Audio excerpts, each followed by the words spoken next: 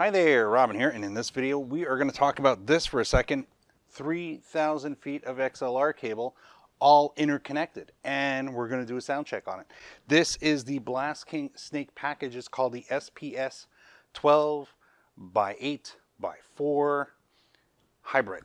Yes, that's the model number. And they have a variety of different ones. This happens to be 150 feet long, 12 of them as returned back to the mixing board, with four of them coming to the stage, uh, giving us a total of 20 lines.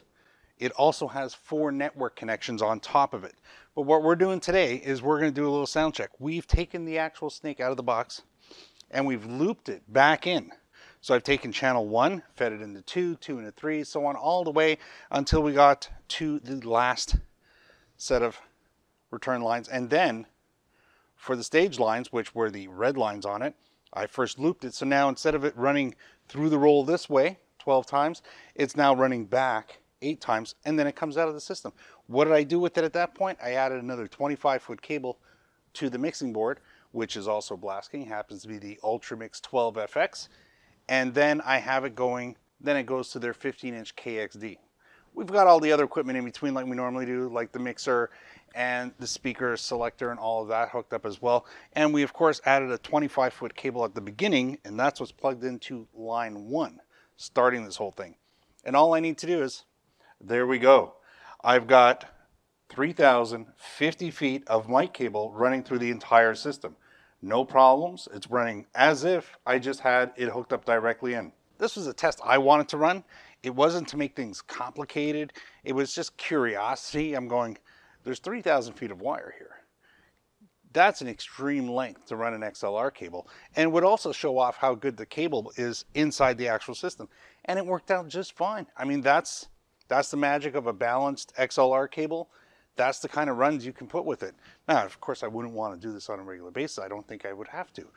But the important thing is, is that all the actual lines are working awesome, stable. The speaker's not generating any more background noise than it would normally do just idling there, which is very important.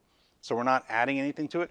And I really didn't lose any of my gain. And also, I'm not losing any signal strength, really, when it comes to something running over 3,000 feet long. So that's pretty impressive. And you shouldn't feel bad thinking that maybe you're going to have a signal loss because you're going to use this on the stage. You're going to have that harness coming all the way to the back of the hull, and you're going to have that hooked up to the mixing board, and then you're also going to have some extra lines connected to it. It was built to do that. That's what's going on. It was that simple. It was my curiosity. It worked out. And here we are. By the way, there are network, four network lines on here as well. So the four network lines, if you check the equipment you're using, most, if you're using things like routers and switchers, they have a push length distance of about 164 feet. It's, it's some bizarre number. But uh, so 150 feet is pretty much the maximum you want. Connect your equipment at both ends of that you're going to be fine with it. But again, make sure and always when it comes to network connections, that's a digital signal going through that line. Uh, you definitely want to see how that works when it comes to length. 150 feet is never a problem. I wouldn't want to really go beyond that. That's right. Really need you to hit that like button. But outside of that, that's pretty darn awesome. I mean, again, I could have cut this down, but realistically, you know, let's just go through exactly what we have. So here we are. I plugged the mic into line one. Then I basically took the end of line one, which is here, and plugged it into two. And I did that all the way across to five, and then I brought six down to seven and kept on going. And like I said, when I got to the end, I just did that with it, and I kept on going all the way to the point when I get to the end. And guess what? Here's my end cable. There's another Blastking cable, and it's 25 feet long. This is what I sent off to the mixing board. And that's it. Everything worked. So that's one solid shot of 3,000 feet of cable with a Shure PGA 58 on. Whammo. That's it. That's all. And there you go.